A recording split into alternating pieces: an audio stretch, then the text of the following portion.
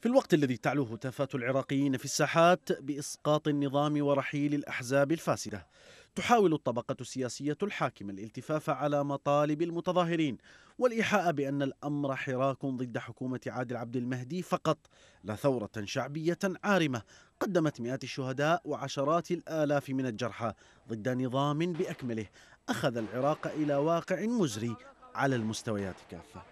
النظام المعتل الذي أنشأه الاحتلال الأمريكي يعتمد على مصطلح الكتلة البرلمانية الأكبر لترشيح رئيس للحكومة وذاك أمر فضفاض يلوى بحسب اتفاق قادة الأحزاب ويضمن عدم تنصيب أي شخصية من خارج الطغمة المسيطرة على العراق. أما في التظاهرات فقد دوت كلمة الشعب في الميدان نحن الكتلة الأكبر وعلى جميع الوجوه التي ظهرت منذ 2003 الرحيل.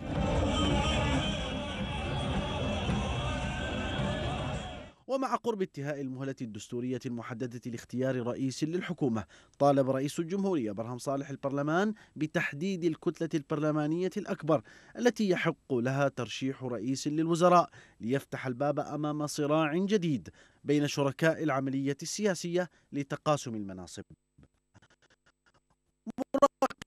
اعتبروا هذه الخطوة تأكيدا جديدا على تعثر التفاهمات بين الكتل والخلافات حول اسم المرشح القادم فضلا عن كون الخطوة محاولة لكسب الوقت والالتفاف على مطالب المتظاهرين الذين يريدون رئيسا للحكومة من رحم ثورة تشرين.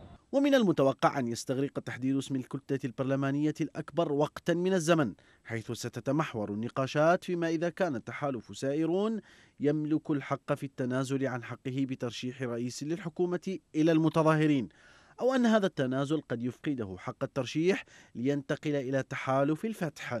ثاني كتلة في البرلمان. وبين الجدل السياسي المتصاعد حول رئاسة الحكومة ورصاص الأجهزة القمعية بوجه المتظاهرين تبرز حقيقة مفادها بأن ساسة العراق الجدد لم يدركوا إلى الآن أن العراقيين قد وصلوا حد التخمة من وعود الإصلاح ومن المهل المعطاة للتخدير. لذا قالوا كلمتهم ويبدو أنهم مصرون عليها. لا شيء سوى إسقاط النظام.